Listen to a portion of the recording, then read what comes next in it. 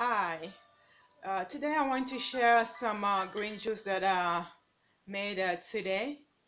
Actually, I was like, I didn't know if it would come out good, but it really tastes very, very good.